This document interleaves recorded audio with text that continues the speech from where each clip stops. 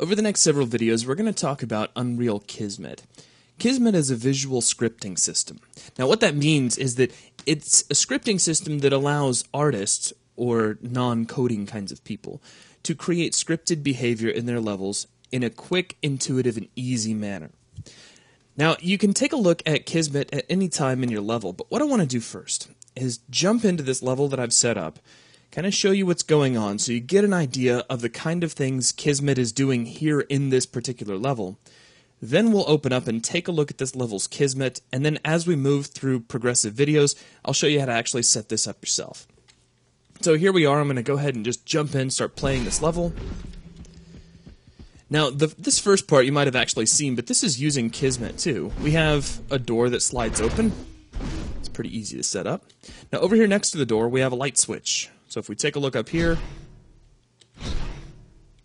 we have a light that activates and deactivates, and it has its own sound effect. Up here on top of the stairs, we have another switch that's red instead of blue. And if we hit this, we get a message. This is not a light switch. Please don't touch it. Hit it again. Says, no, seriously, this will not turn on the lights. You want the blue switch next to the door. See it? Yeah, of course I see it, but I still want to push this button. So it says, is it really so hard to just leave this switch alone? And then finally, if you hit it one more time, okay, have it your way, but don't say we didn't warn you. 10, 9, 8, 7. Try to run out the door, six, 5, but it won't open. 4, 3, 2, 1. And we blow up.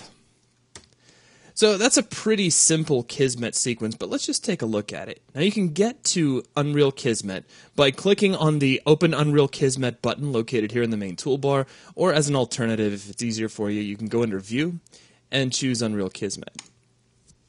So here we are inside the Kismet editor, and what you're going to see are a series of nodes called sequence objects and several wires that connect them all together. Now, for simplicity's sake, let's pick on something that's fairly straightforward, like our door. Actually, you know what? Let's take a look at the light switch. I changed my mind. The light switch is even easier. Now, when you're working in Kismet, there are just a few different types of sequence objects that you're going to be using. There are events, actions, and variables. Now, those are your big ones. There's other things too. There are comparisons which allow you to uh, measure up a value against another value, but your big ones are going to be events, actions, and variables, at least for the purposes of this lecture. Now, what we see here is an event. This event is represented as the node you see here. Now, what is this event? It is trigger underscore zero used. What this is doing is it's listening out for the player, or anybody really, to make use of this trigger in some way, to go up and actually hit the E key and engage the trigger. As soon as that happens, you see several wires that are leading out of the node, and they're coming out of what is called an output that is labeled used. So as soon as somebody uses that trigger, some things are going to happen. And what do we have? Well, we have a little tiny arrow here which leads out to a play sound sequence object, which is playing our lighting sound effect. We have another one here in the middle which is toggling a light bulb on, and you can actually see that light bulb here stored inside of a variable. So take a look at this toggle action for just a moment. We have an input feeding into toggle, which means uh, firing it once will turn a light on, firing it a second time will turn the light back off.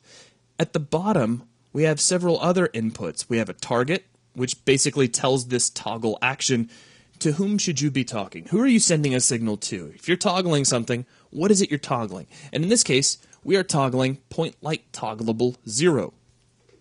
Now, also, we have a material switch. This is just like a switch box. It's very, very simple. And what we're doing is we're switching between two settings for a material. We're setting a material to an on state, which makes the fluorescent tube look like it's glowing.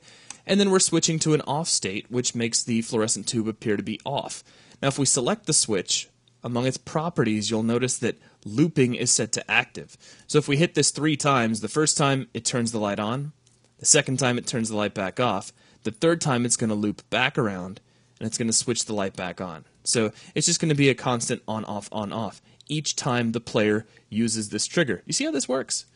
It's very, very straightforward. It's very easy once you get into it. But if you're not quite in tune with dropping down these nodes and connecting wires and, and kind of getting an idea of the general flow of, of information from one node to the next, it can be a little bit tricky at first. So we're going to start off slow just by building this very simple light switch and kind of get you in the mindset you need to be here. And then we'll move on to the destruction switch, which has all the little messages that it plays to the player. It then locks the door, so the door actually quits working when the alarm goes off.